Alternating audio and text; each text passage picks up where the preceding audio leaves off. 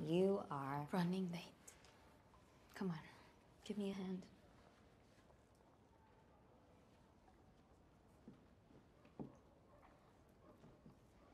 How'd it go? What? Him.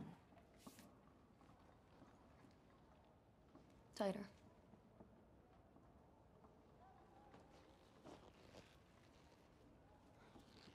I hate to see you this way. Don't worry about it. But why should you have to suffer like this? I mean, you could have him for yourself if you wanted. Right? You're beautiful. You're powerful. And I've never seen you give up on anything. Yeah, but then what? Leave the rest of my days as the shabby, worn down wife of a farmer. You and I are destined for better things. Hmm? With your beauty, you will achieve anything. You know what? Come with me. You're kidding. No, I'm not. Only sorry I didn't think of it before. Pick out a dress. Surprise!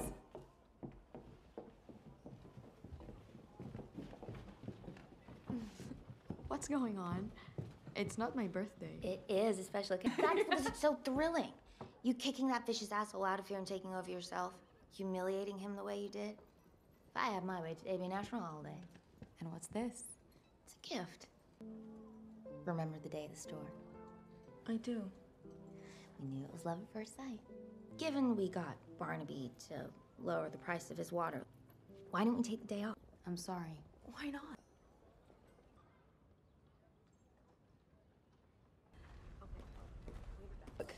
Symone's got the best of us anyway.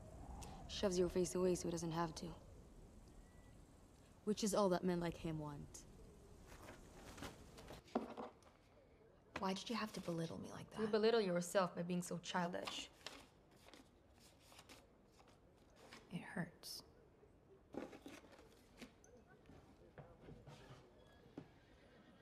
But women can survive in this world without power. That's what you wanted when you first came here, and that's what I delivered. Her and my cousin being in love and wanting to tie the knot.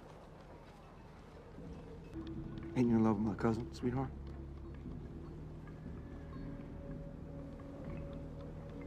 Well, Nathan's sweet, and I'm fond of him. But no, I'm not. My loyalties will always be to Eve in any case.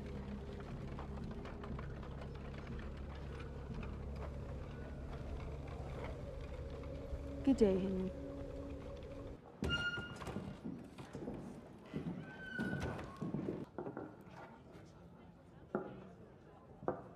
Everything okay, Tony? If it were me, I would at least try. And if I got bored, I'd just send him home. You're such a child. Maybe. Or maybe I'm just bored. What are you doing here? You only said it because Eve was there. Eve's done so much for me, and the ladies are my family, Nathan. I've never wanted a child. Ever. My God, I wouldn't even know where to start. What am I now, Eve? What am I? She asked only one thing.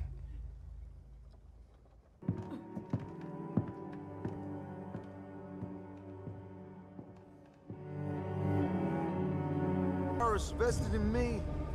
I do hereby order the executioner to fulfill his duty.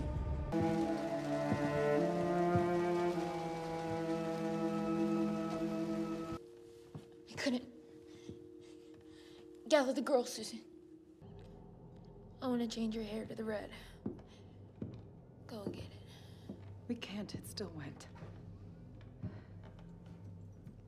She's fine with this one. The red one, I said. The red one's her favorite. Do you understand? I know. Is that it? We're just gonna run away? We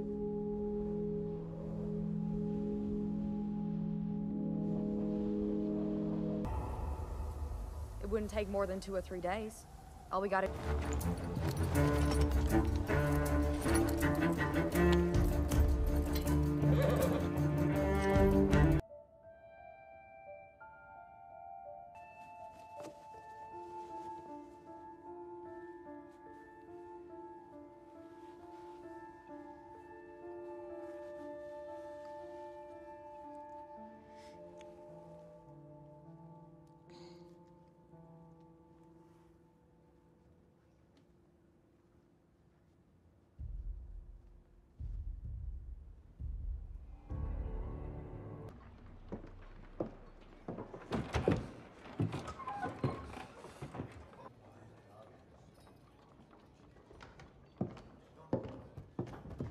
Good to see you, Simon. How are you? Hungry.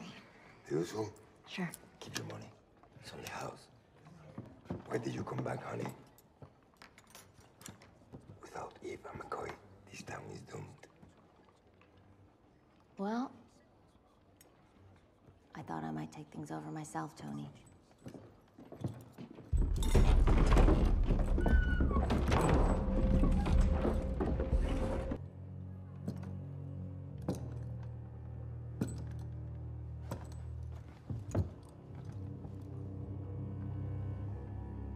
Know the area.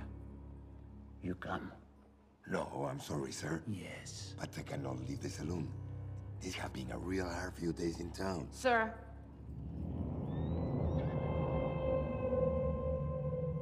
For a matter of such urgency, you're offering less than you paid for your boots. I didn't ask for your opinion, kid.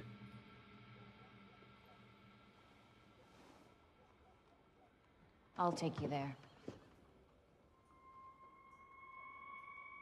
For $200.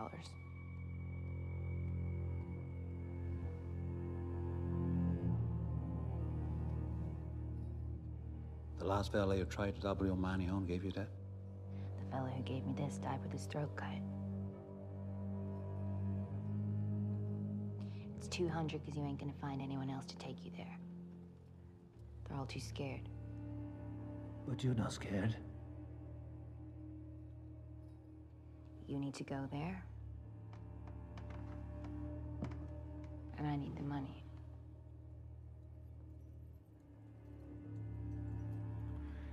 Tell me something. Is this the first time you negotiated with someone like me? I bet. Someone else sets a price for your little body.